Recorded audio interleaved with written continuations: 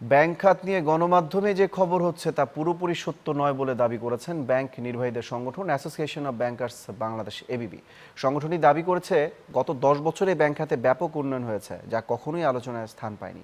সকালে রাজধানীর একটি হোটেলে মিট দ্য প্রেস অনুষ্ঠানে যোগ দেন যোগ দিয়ে তারা এসব কথা বলেন।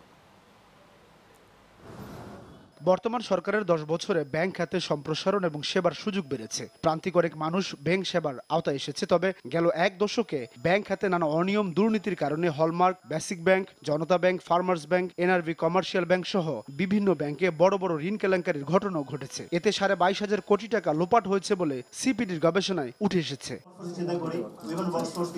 ব্যাংক খাতের এমন নেতিবাচক পরিস্থিতি ব্যাখ্যা করার পাশাপাশি ইতিবাচক পরিস্থিতি তুলে ধরতে সংবাদ সম্মেলনে ডাক দেয় ব্যাংক খাতের প্রধান নির্বাহীদের সংগঠন এবিবি এমন সংবাদ সম্মেলনের পেছনে জাতীয় নির্বাচনের কোনো প্রভাব রয়েছে কিনা? প্রশ্ন ছিল গণমাধ্যম কর্মীদের। কোনো রাজনৈতিক প্ল্যাটফর্ম না। সংবাদ সম্মেলনে দাবি করা হয় ব্যাংক খাত নিয়ে গণমাধ্যমে যে নেতিবাচক খবর প্রকাশ করা হয় তা পুরোপুরি সত্য নয়। আগের তুলনায় খেলা পিরিন বাড়লেও ব্যাংক খাতের পরিস্থিতি ভালো রয়েছে বলে দাবি এবিবির হেডলাইনটা অনেকে আপনি আমাকে বলেন কতজন লোক সংবাদের পুরোটা পড়ে?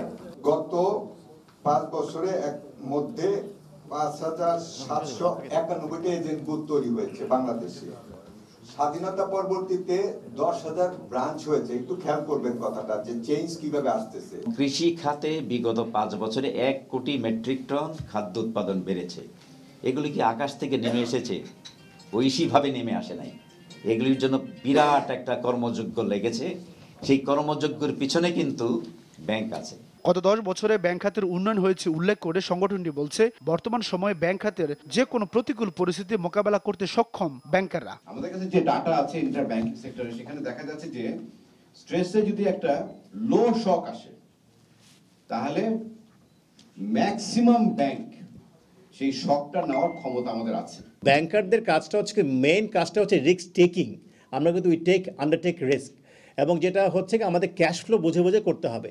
এর মধ্যে ভুল কি হতে পারে না আমরা তো হিউম্যান বিং আমরা তো ফেরেস্তা না। ব্যাংক খাতে কিছু চ্যালেঞ্জ রয়েছে উল্লেখ করে আগামী দিনে সবাইকে নিয়ে এই সমস্যা সমাধানের আশ্বাস দেওয়া হয় সংবাদ সম্মেলনে। চ্যালেঞ্জ তো আমাদের আছেই কিন্তু আমরা সারাক্ষণ ধরে গ্রামলিংগুলো তো হবে না। আমি সারাক্ষণ যদি বলতে থাকি আমার এই সমস্যা আমার এই সমস্যা আমার সমস্যা তাহলে তো আমরা কাজই করতে পারব না।